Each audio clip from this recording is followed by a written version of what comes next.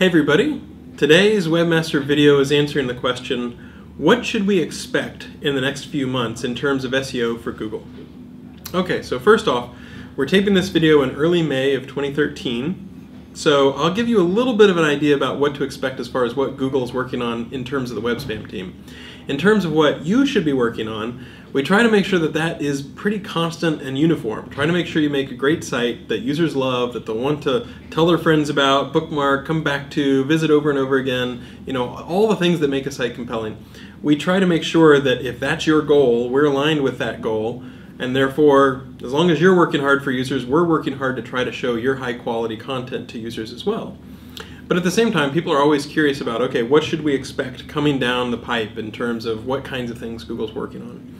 One of the reasons that we don't usually talk that much about the kinds of things we're working on is that the plans can change. You know, the timing can change, when we launch things can change. So take this with a grain of salt. This is, as of today, the things that look like they've gotten some approval or that look pretty promising. Okay, with all those kinds of disclaimers, um, let's talk a little bit about the sort of stuff that we're working on. We're relatively close to deploying the next generation of Penguin. Uh, internally, we call it Penguin 2.0. And again, Penguin is a web spam change that's uh, dedicated to try to find, um, you know, black hat web spam and try to target and address that. Uh, so this one uh, is a little more comprehensive than Penguin, and so than Penguin 1.0, and uh, and we expect it to go a little bit deeper and have a little bit more of an impact than the original version of Penguin. Uh, we've also been looking at advertorials, that is sort of native advertising and, and, uh, and those sorts of things that violate our quality guidelines. So again, if, uh, if someone pays for coverage or pays for an ad or something like that, those ads should not flow PageRank.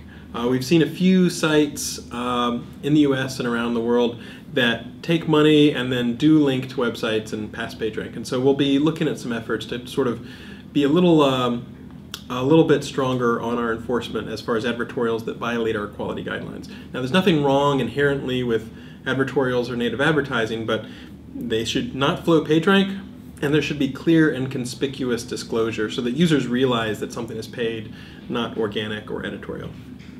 Um, it's kind of interesting. We get a lot of great feedback from outside of Google. So for example, there were some people complaining about, you know, searches like payday loans on google.co.uk.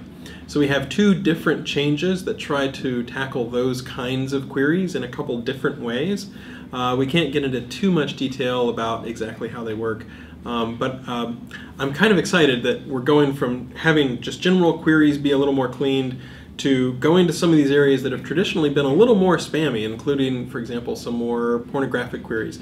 And some of these changes might have a little bit more of an impact in those kinds of areas that are a little more uh, contested by various spammers and, and that sort of thing. Um, we're also looking at some ways to go upstream to deny the value to link spammers. Some people who, you know, spam links in various ways. We've got some nice ideas on trying to make sure that that becomes less effective, and so we expect that that will roll out over the next few months as well.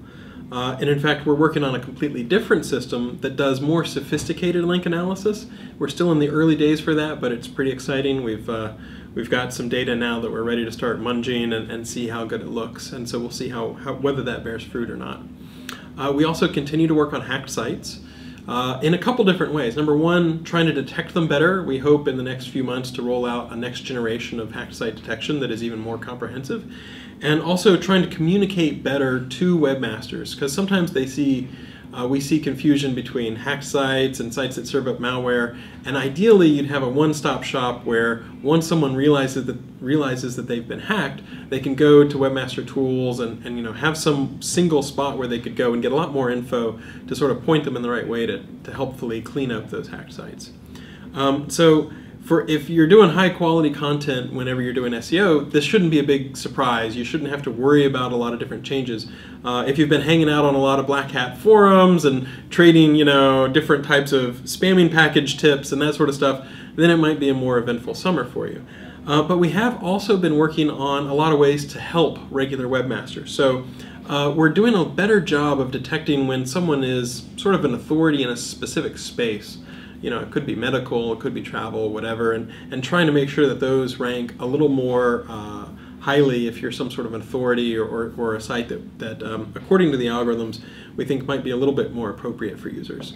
Uh, we've also been looking at Panda and seeing if we can find some additional signals, and we think we've got some to help refine things for the sites that are kind of in the border zone, in the gray area a little bit. And so if we can soften the effect a little bit for those sites that, uh, that we believe uh, have got some additional signals of quality, then that will help sites that might have previously been affected to some degree uh, by Panda. We've also heard a lot of feedback from people about, okay, if I go down three pages deep, I'll see a cluster of several results all from one domain. Um, and we've actually made things better in terms of uh, you, you would be less likely to see that on the first page, but more likely to see that on the following pages. And we're looking at a change which might deploy, um, which would basically say once you've seen a cluster of results from one site, then you'd be less likely to see more results from that site as you go deeper into the next pages of Google search results. Um, and that was good feedback that people have been sending us. We continue to refine our you know host host crust host clustering and host crowding and all those sorts of things. Um, but we'll continue to listen to feedback and see what we can do even better.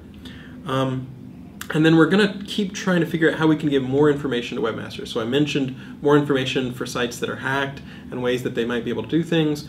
Uh, we're also going to be looking for ways that we can provide more concrete details, uh, more example URLs that webmasters can, can use to figure out where to go to diagnose their site. So that's just a rough snapshot of how things look right now. Things can absolutely change and be in flux because we might see new attacks, different types of things. We need to move our resources around. But that's a little bit about what to expect over the next few months um, in the summer of 2013. I think it's going to be a lot of uh, uh, a lot of fun. I'm really excited about a lot of these changes because we do see really good improvements in terms of of you know people who are link spamming or, or doing various black hat spam would be less likely to show up.